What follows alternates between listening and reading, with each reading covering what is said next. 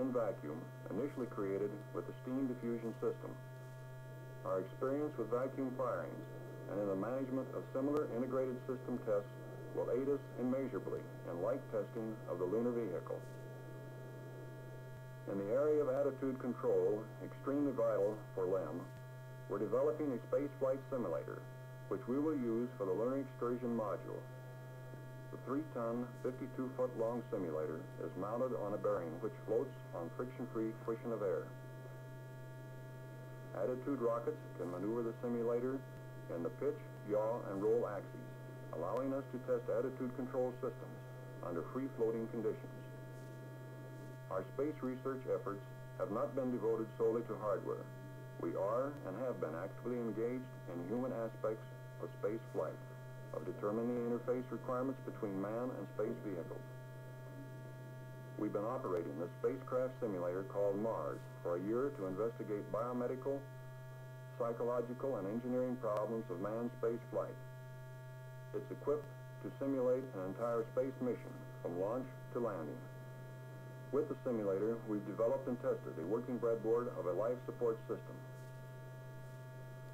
We're also working on such equipment as an onboard microchemical system, which will permit astronauts to check their physiological chemistry during prolonged confinements. During the past three years, we have invested over three and a quarter million dollars of company funds into studies directly related to the lunar mission. This is in addition to government-sponsored research into similar areas. In one of our studies, we used a simulator to investigate lunar landing techniques. The simulator consisted of pilot controls, pilot displays, and an analog computer to represent vehicle dynamics. Test pilots flew the missions. For the pilot controlling pitch and thrust, we concentrated on the landing approach to touchdown phase. We were interested specifically in determining the handling characteristics of the vehicle. In another study that bears on a lunar mission, we investigated the techniques required for rendezvousing and docking two spacecraft.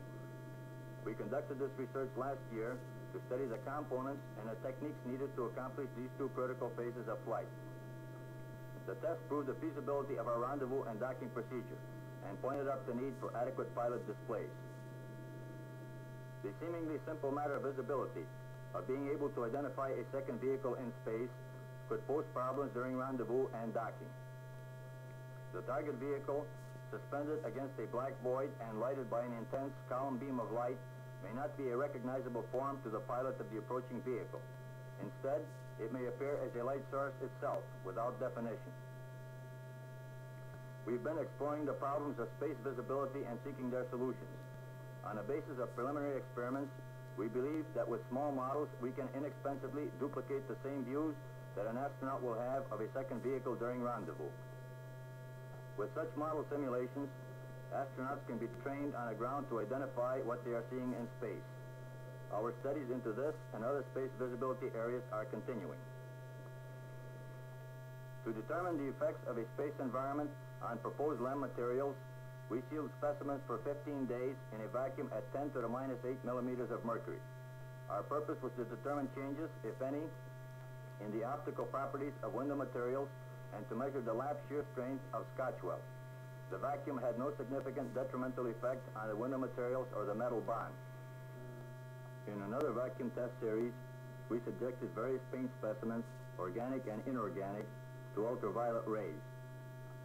Since paint is important in regulating the internal temperature of the vehicle, we are determining which type of paint best withstands radiation and vacuum of space.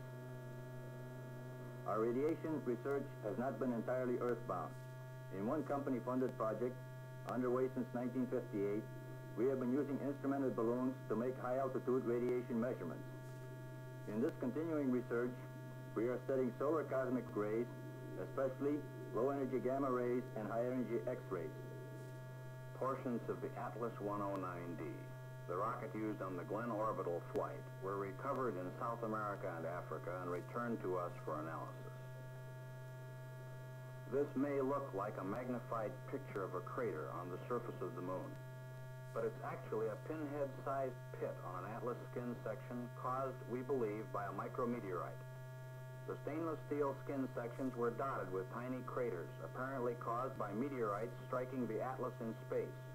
Our engineers are studying the miniature craters to determine the size and velocities of the meteorites and to discover, if possible, the physical composition of the particles. For the past three years, we've concentrated on studies of meteors and their effects on space vehicles. To simulate meteorite impacts, we've employed a variety of techniques, from specially developed meteorite guns to the firing of pellets with explosives.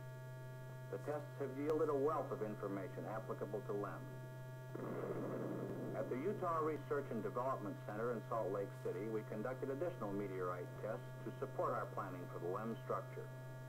In the test series, we used samples of metals, insulations, and transparent materials, which we were considering for the lunar vehicle. The tests were conducted in a vacuum environment, using 1 8 inch diameter aluminum pellets to simulate the meteorite particles. We've incorporated the test results into the design of the LEM cabin structure and cabin windows.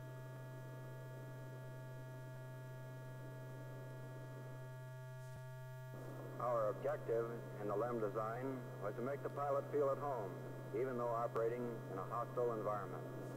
A natural transition from aircraft to spacecraft. Crew safety depends primarily on the crew members responding correctly and quickly to given cues. The cues may be exterior or interior, or both. To assure the right responses, visibility, control, and display requirements were integrated. Crew tasks were carefully analyzed. Crew positions were given top priority, side-by-side seating with the commander on the left and the systems engineer on the right yields optimum communication by sight, sound, and touch. Flight management displays are centered, readily visible by either man. Systems panels are within easy reach. The systems engineer has dual flight controls to provide greater crew safety and greater assurance of mission success. The engineer can take over flight functions instantly if the commander is incapacitated for any reason, such as a meteoroid strike or nausea. At any point in the mission, the crew can jettison the descent stage by flipping this guarded switch. Independently, if any malfunction should occur to the main engine, the commander can jettison the descent stage, shut down the main engine, ignite and bring his standby engines to power, all without removing his hand from the power lever. This capability for rapid positive action is important to crew safety in the hover mode. LEM hovering and landing design considerations were a natural evolution from helicopter and VTO pogo techniques. The main engine control, operated by the left hand, is analogous to the helicopter collective pitch control used for controlling altitude. Attitude control in pitch and roll is accomplished with the attitude control stick held in the right hand and is comparable to a helicopter control stick. Foot pedals, similar to helicopter rudder pedals, provide azimuth control. The arrangement of controls and display panels was developed from studies of normal viewing angles and convenience of reach. Restrictiveness of pressure suits, headgear clearances, restraint harnesses, and access to and from the seated position were considered. A simple probe-drogue technique, already familiar to pilots, was adopted for the docking maneuver. This semi-hard, self-aligning system requires no reorientation of either crew member, their cues, or their controls. Vehicle translation using this reaction engine control makes docking a straightforward operation. The crew has excellent visibility for the initial docking maneuver using the forward windows.